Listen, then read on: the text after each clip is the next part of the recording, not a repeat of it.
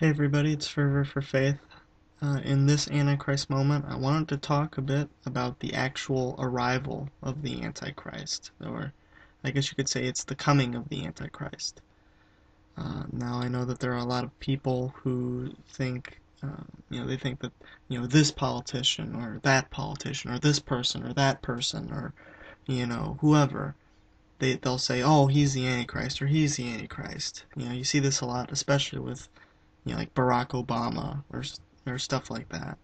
And I fell into this myself. I'm I'm not saying that I oh I'm so much smarter than everybody. I fell into this in times past as well. Uh, but when we actually look at the scriptures, we see that it's pretty clear that the arrival of the Antichrist on the scene is not something that people are going to miss. I mean, it's not going to be, oh, he just he showed up you know, and nobody noticed for a while, kind of thing. It'll be really obvious when it happens. Um, so that's what we're going to be talking about today is the arrival of the Antichrist. Now, just to note, I do believe in a pre-Daniel's 70th week catching away of the body of Christ, um, also known as a pre-trib rapture. Uh, I do believe in that. I don't think that the body of Christ is going to be here on earth when the Antichrist arrives on the scene. However, I do think that uh, studies like this series that, that I'm doing are important because we shouldn't have a false view of eschatology. You know, the Bible, it says in the Bible, study to show thyself approved unto God, a workman that needeth not to be ashamed, rightly dividing the word of truth. It tells us to study uh, the Word of God to, to get our, our doctrine right and to get our beliefs right. And so that includes eschatology. Now, eschatology isn't a salvation issue, but it is important. Uh, it, number one, just to have the, the right view and to be in the truth. But also because we shouldn't be teaching people the wrong things.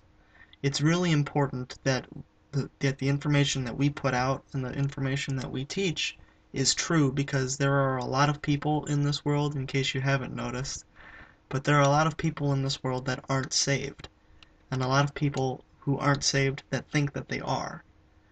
Uh, there are a lot of pseudo Christians who think that they're saved, but they're not. Uh, they almost universally hold to some kind of a post trib view, of a post tribulational rapture.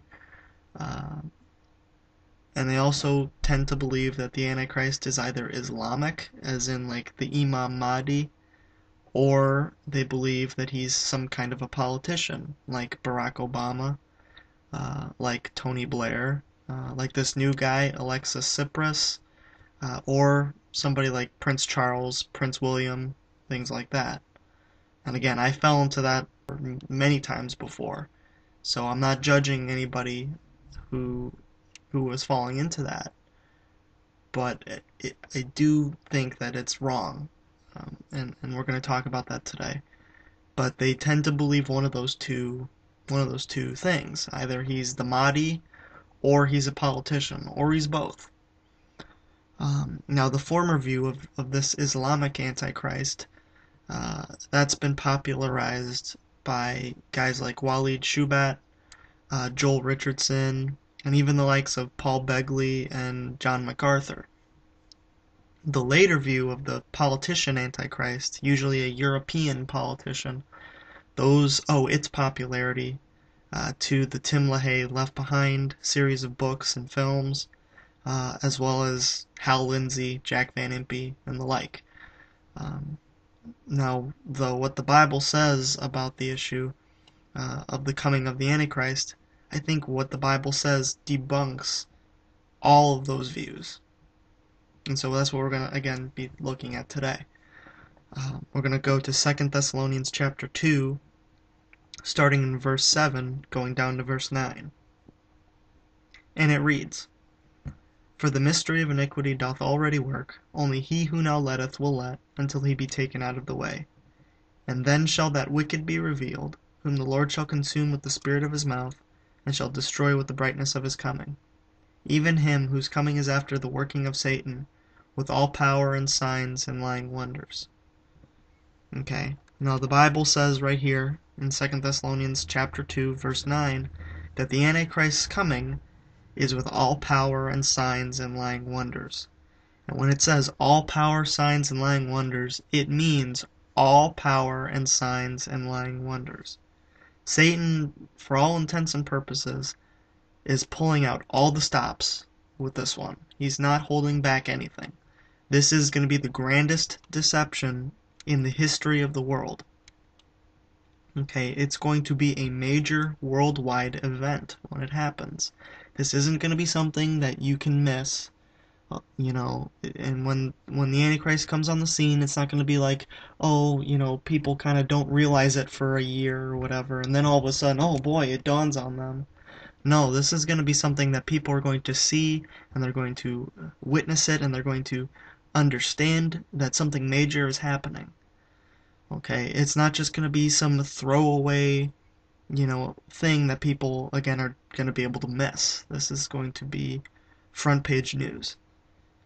Okay? The Antichrist is going to be wrapped in lying wonders and lying signs. He's going to be uh, surrounded by them. It's going to be it's going to follow him wherever he goes.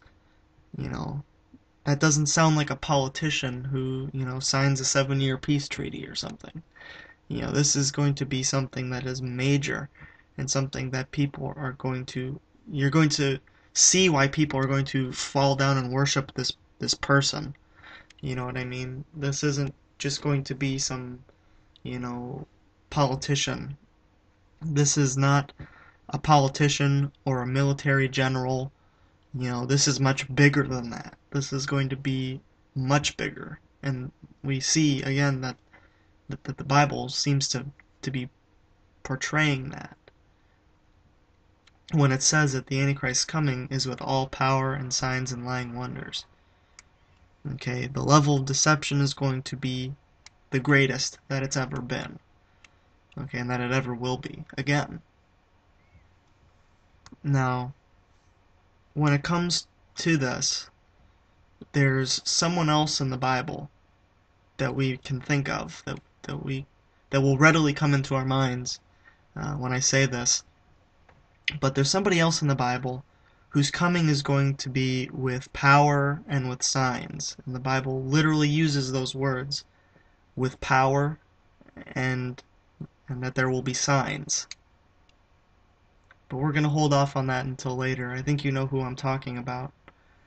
But we're going to hold off hold off on that until later. But to, to conclude this this video, the Antichrist coming is with all power and signs and lying wonders. This is not something that is going to be, you know, missed by anybody. People are going to see it, they're going to understand it, they're going to know something major has happened. It's going to be front page worldwide news.